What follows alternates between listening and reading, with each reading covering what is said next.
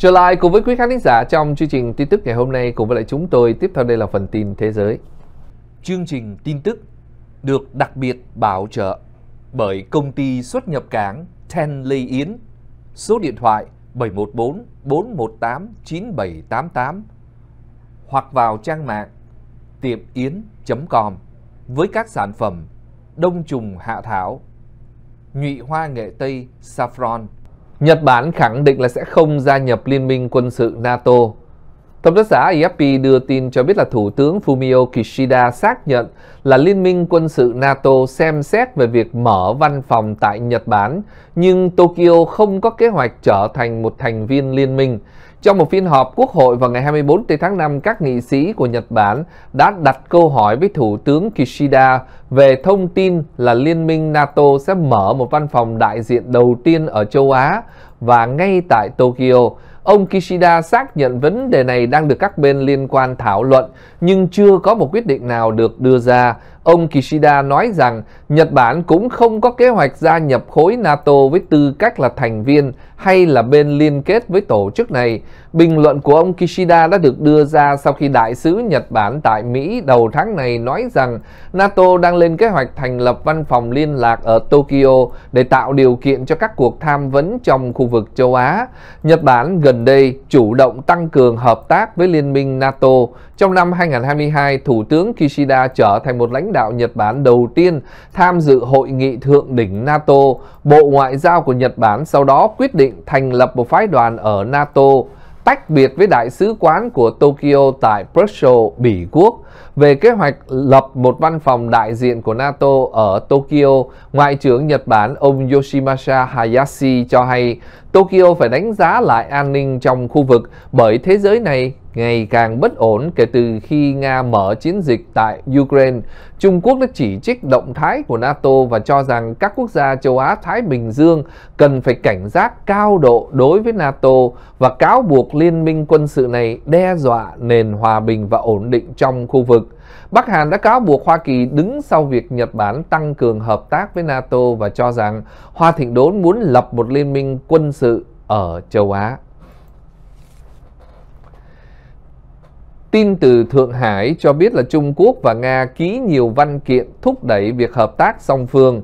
Sau cuộc hội đàm tại thủ đô Bắc Kinh của Trung Quốc vào ngày 24 tây tháng 5 giữa Thủ tướng Liên bang Nga là ông Mikhail Mishustin và Thủ tướng Lý Cường của Trung Quốc cùng với phái đoàn của cả hai quốc gia, hai bên đã ký nhiều văn kiện thúc đẩy hợp tác song phương trong một khuôn khổ chuyến thăm Trung Quốc của Thủ tướng Nga. Trong số các văn kiện có nghị định thư về các yêu cầu đối với ngũ cốc, giữa cơ quan giám sát thú y và kiểm dịch thực vật Liên bang Nga và Hải quan của Trung Quốc. Hai cơ quan này cũng đã ký một nghị định thư về việc yêu cầu kiểm dịch thực vật đối với nguyên liệu cây thuốc làm thuốc xuất cảng từ Nga sang Trung Quốc. Một biên bản ghi nhớ cũng đã được ký kết giữa Bộ Phát triển Kinh tế Liên bang Nga và Bộ Thương mại của Trung Quốc về việc tăng cường hợp tác đầu tư trong lĩnh vực thương mại. Cả hai bên đã đồng thuận phát triển thương mại liên vùng, khuyến khích doanh nghiệp của hai quốc gia tham gia triển lãm và hội trợ, tổ chức các sự kiện chung trong nhiều ngành nghề.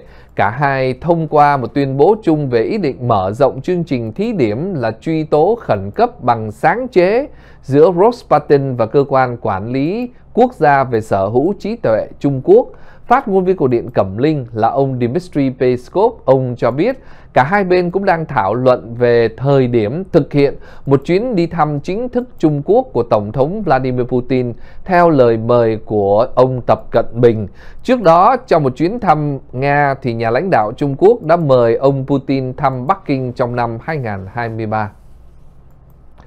Vẫn liên quan đến Trung Quốc, bản tin tiếp nối cho biết là tân đại sứ Trung Quốc là ông Tạ Phong đã đến Hoa Kỳ.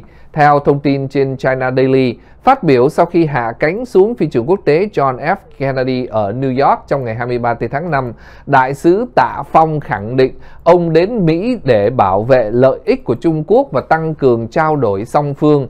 Ông Tạ nói trước chuyến uh, trước giới truyền thông rằng là một đại diện của người dân Trung Quốc, tôi đến đây để bảo vệ lợi ích của Trung Quốc và tôi coi đây là trách nhiệm thiêng liêng của mình. Tôi là một đặc phái viên của người dân và tôi đến đây tăng cường hợp tác Trung Mỹ và đây là một nhiệm vụ quan trọng của tôi. Chúng tôi hy vọng rằng Hoa Kỳ sẽ cùng uh, đi cùng hướng với Trung Quốc và hành động vì lợi ích chung của người dân hai quốc gia và trên thế giới.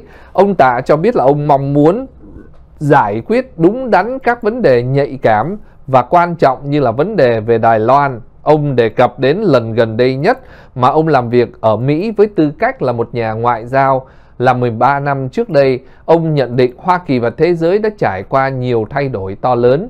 Các viên chức của Hoa Kỳ cũng kỳ vọng là có thể đối thoại hiệu quả với ông Tạ dựa trên mối quan hệ và cam kết trong quá khứ. Trong lúc hạ cánh thì vị tân đại sứ đã được chào đón bởi nhiều nhà ngoại giao Trung Quốc. Ông là đại sứ thứ 12 của Trung Quốc tại Hoa Kỳ. Trước khi làm đại sứ thì ông là thứ trưởng ngoại giao phụ trách về mối quan hệ giữa Trung Mỹ. Ông nhậm chức sau khi vị trí đại sứ Trung Quốc ở Hoa Kỳ đã bị để trống trong nhiều tháng. Trước đó, căng thẳng song phương gia tăng sau chuyến thăm Đài Loan của cựu chủ tịch Hạ viện Nancy Pelosi.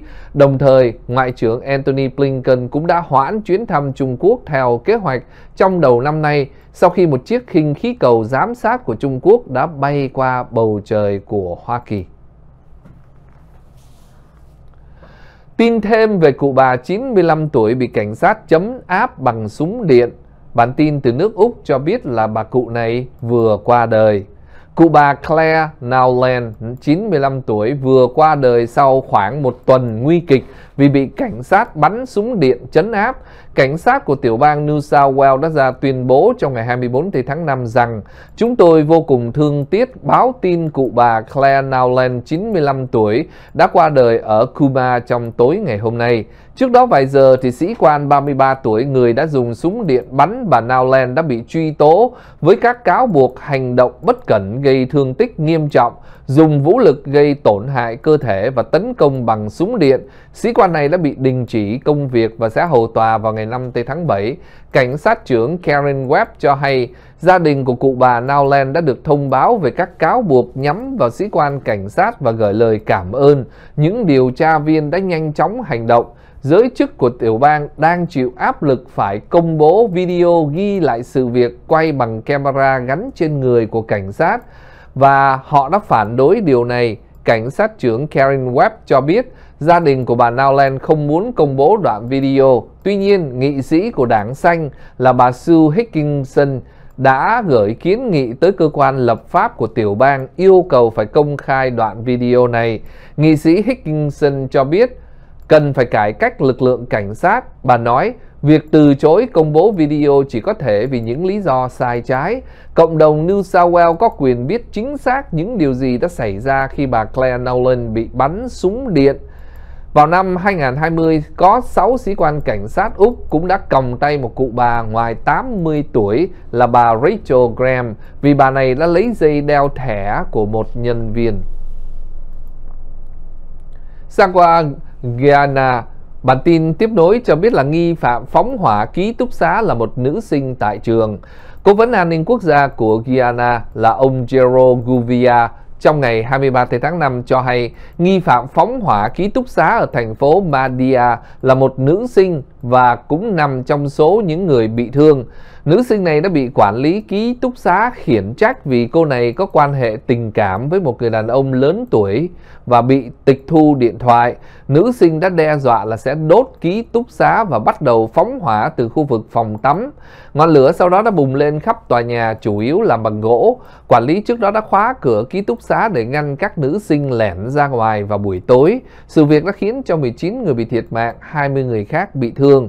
Thông báo cho biết đây là một tình huống rất đau lòng. Giới chức sẽ làm việc với các học sinh và thân nhân để hỗ trợ cho mọi người. Đa số các nạn nhân trong vụ hỏa hoạn là các nữ sinh tuổi từ 12 đến 18 tuổi, đến từ những ngôi làng hẻo lánh. Con trai 5 tuổi của người quản lý ký túc xá cũng bị thiệt mạng trong trận hỏa hoạn. Ông Guvia cho biết người quản lý của ký túc xá lúc đó hoảng loạn và không thể tìm thấy chìa khóa để mở cửa, nhưng đã may mắn thoát thân. Bà ấy cũng đã mất đi đứa con 5 tuổi trong trận hỏa hoạn. Ông Guvia cho biết thêm là cảnh sát dự kiến sẽ buộc tội hiếp dâm đối với người đàn ông có quan hệ với nữ sinh bị nghi là phóng hỏa vì cô bé này chưa đủ 16 tuổi. Chính phủ Guyana đã cử các chuyên gia giám định DNA tới hiện trường để xác định danh tính các thi thể. Vụ cháy ký túc xá này được coi là một vụ hỏa hoạn chết chóc nhất tại Guyana gần đây. Guyana là một quốc gia Nam Mỹ từng là thuộc địa của Hòa Lan có biên giới giáp danh với Brazil, Venezuela và Suriname với dân số hơn 795.000 người.